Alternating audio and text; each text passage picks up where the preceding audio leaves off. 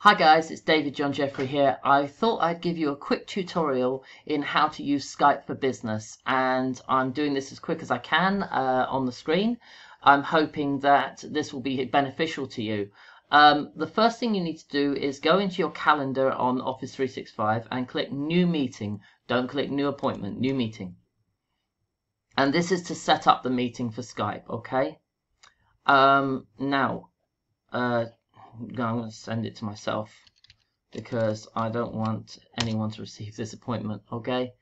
Um, and I need to set it up as a Skype. And this is the thing, yeah? This is your classic problem you get with Skype. It's not on there. Where is it? Options. Options, options. Add-ins. Go and there it is. That hasn't been ticked. Okay? It disappears. That's how you undo it. Now, that was live. That was good. Okay, Skype meeting. Right. Um, it's now a Skype meeting. Yep, send. Okay, you haven't sent it yet. It's going to load. It's going to do its thing. It takes a bit of time. There it is. Join Skype meeting. Send. There. Send anyway. Yeah. Sending it to myself. So now I have a Skype meeting. So now, there it is. Oops.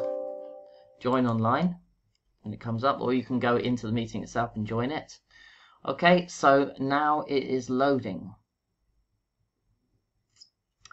Here we go. So start Skype for Business. Some of you will get this. Some of you will have it automatically go up from your through the company you work for or whatever. But yeah, this is it. There we go. It's on the other side. Yeah, so here you get a choice of call me, where you can actually put in a phone number, where it can call you and you can just join it as an audio, or use Skype for Business full audio and video experience. So, uh, yeah, here I am. I'm the only one on the call. If there were other people, then you would have their faces up here, and it would tell you at the top how many participants there are. Here you can add people, you can invite someone. So if I was to invite Chelsea, for example, it should, uh, there she is, okay? It will look her up on your address book, whatever you got set up in your exchange. So you can invite more people, you can participate actions, you can choose different things here. Everyone is an attendee or mute the audience while you present, you know, or you, you have no attendee video, which means they don't, they don't show your video. If you want to turn your video on, you press the video button and it will automatically start the video, okay? But it won't do it for me because I am right now on the video and it's going to get confused. Um, this, get an option to mute yourself so you can have a conversation with someone while listening into the call. This will hang up you away from the call and this little button here just helps you to put it on hold and things like that if you're dialing in, but you don't normally touch that. The big button that counts is this one here, which is what brings up the conversation. So you, I could actually talk to everybody in the room that way okay? You got all your usual smileys and emojis and everything like that and you can also attach a document here. Okay? Now right so now that's gone. Right so if I now share content I got a choice. I can share my desktop which is great okay? And also if you share your desktop I'll just show you this for a second. Now I'm sharing everything that's inside this yellow band, okay? At the top I get to stop sharing. I can unpin it so I can move it around. Also, um, here I get an option to give control to somebody else. So if somebody else was in here, it would list their names and you can give them control. That's quite cool. Stop sharing, okay? And when you stop sharing, it comes up with usually a box, but because it, it's only me here, it's probably not showing it. But if, if I was receiving it, then it will show me a box and you just click in the button in the middle to clear it. Now, share a window. This is brilliant. You can choose which window that you've got open you want to share. So if I want to share that, for example, it shows me on here that this is what I'm sharing. Okay, it's on the screen and it's connecting to it. And it's everything in the orange band that's being shared. Okay, so you can choose what's shared and what's not shared. So that's pretty good. So I'll stop sharing that now. Another thing you can do, share PowerPoint files so you can share a presentation and show it to everybody. You can add an attachment. as a more one here. Right, so you get a whiteboard. Okay, if you've got a touch screen, this is extremely useful. So this is your whiteboard that now everybody is looking at. You can draw on it. Um, you, oh, that's writing text. So you can write text.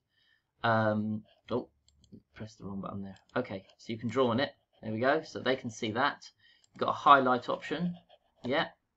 Rub out bits. There you go. Okay. Arrow stamps. Yeah. Okay. Lines. Any color you like. You can change the color of the highlight, of course, if you wanted. Okay, add a picture from your file, so it will load your pictures.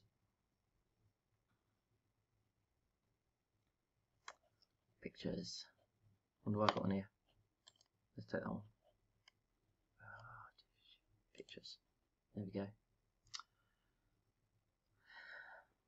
Okay, so there we go. So if I want to insert that picture there,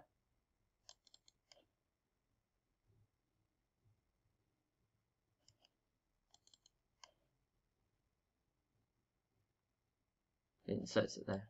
Okay, and you can still write over it, do whatever you want. It's just a picture. Okay, um, so get out of that. Stop sharing. Okay, hide stage. That's what I was talking about, where you can click it off to get back to where you were. Right, uh, another one, a poll. That's really interesting. You could type a question. You could say, how many spots? Just typing anything now. Oh, stops. Okay. Spots. There we go. And you could say one, two, three, or four. Create. And then everybody who is on your call can put in their action and send it off. Okay? And each person that puts in an action, it counts those actions and it will it will duplicate and you can if you had a big crowded audience it would be great, you know, for sharing. Okay? Everything that you share gets emailed to you, which is brilliant. Um, unless your your uh, company you've worked for has turned off this function. At the end of the call, the instant message that gets also sent to you on an email. Okay. Um, yeah, so you've got attachments. You can send them files. You can, uh, if I want to send a file, for example, I'll just show you how easy it is. Sending a file. So let's send that one. And yeah, so it says to me, uh, yeah, okay, showing me all the presentable content I've got right now and what I've done.